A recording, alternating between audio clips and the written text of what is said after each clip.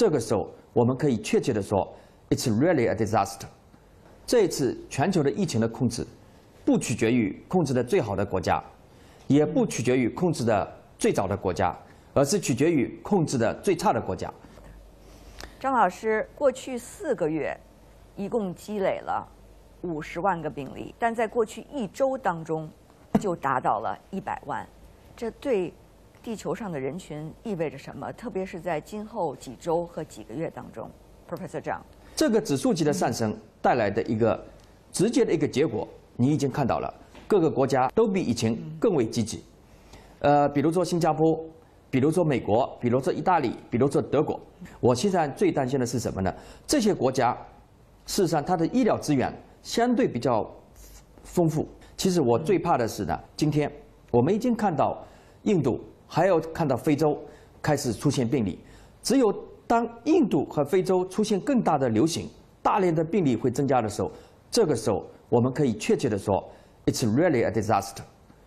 所以我们认为这个事情现在到今天为止是非常严重，我们必须全世界发达国家，呃，美国、欧盟、中国，我们这些国家疫情控制的好的也好，没有好的也好，都要开始迅速的团结起来，去帮助医疗资源不充足的这些国家。一起来抗疫，所以今天一百万这个数据，事实上只是告诉我们，我们得赶快的团结起来。这是一个非常严重的一个警告。就像我此前已经讲过的，这一次全球的疫情的控制，不取决于控制的最好的国家，也不取决于控制的最早的国家，而是取决于控制的最差的国家。世界上只要还有一个国家没有控制好，我们不是说要把这个国家给 lock。而是要帮助他一起把疫情给控制住，因为只要世界上还有一个地方这个疫情没有控制住，像今天这个病毒的性质，它就会向全世界蔓延。